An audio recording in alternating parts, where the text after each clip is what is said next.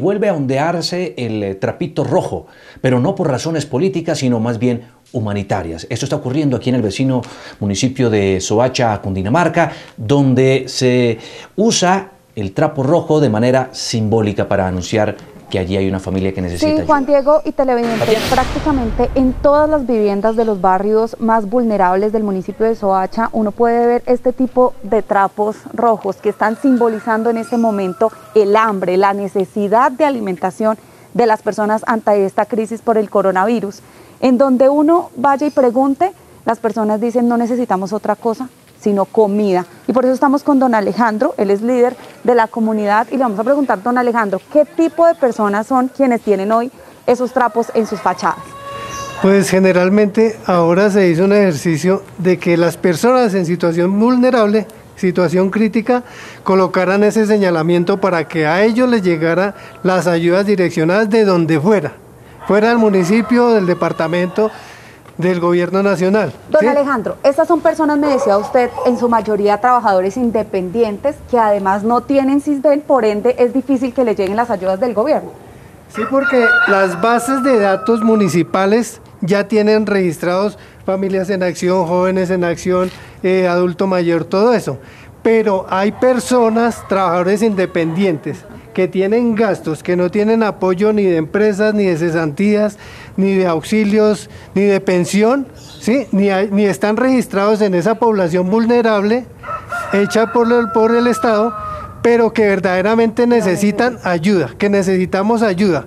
Eso es lo que queremos del gobierno, que nos identifique verdaderamente a los trabajadores independientes. Nosotros hacemos un gran aporte a la economía del país y hacemos construcción de lo que es la riqueza de las empresas. Listo, don Alejandro, pues eso es lo que dicen estas personas que tienen los trapos rojos, es una manera de identificar a quien tiene esa necesidad, pero que no hace parte de los listados del gobierno. Esta casa, por ejemplo, es una vivienda que es de don Gabriel, con quien estamos también a esta hora de la mañana, y acá se presenta esa cadena del hambre que tiene afectados a muchos ciudadanos. Ferney es inquilino de él. Ferney, ¿usted ha podido pagar su arriendo? No, la verdad no, ya llevo dos meses atrasado haciéndole, eh, faltándole a, don Gabriel los dos meses, sinceramente porque me quedé sin trabajo por la situación que está viviendo ahorita la pandemia lo cual no he podido tener ingresos y los únicos ingresos que tengo son para la alimentación, que es lo más necesario en estos momentos, que darle mal a don Gabriel por el momento. Claro, esto es la situación de Ferney. Ahora viene la situación de don Gabriel. ¿Usted vive, come con esos arriendos?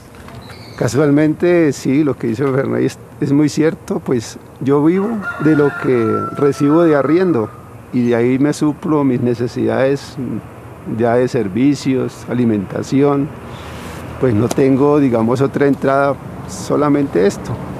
Y pues ahorita estamos en una situación un poco apretada.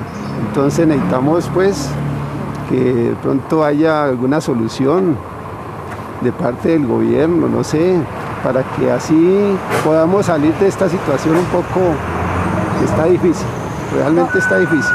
Gracias, don Gabriel. Miren ustedes, las personas están poniendo sus trapos rojos, sacan chaquetas, sacan camisas, lo que tengan a la mano para poder demostrarle al Estado, al gobierno e incluso apelar a la solidaridad de otras personas que le puedan ayudar con la alimentación, porque como acabamos de escuchar, esto es una cadena.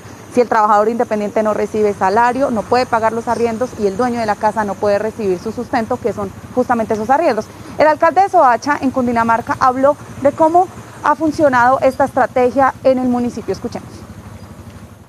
Seguimos trabajando por la gente.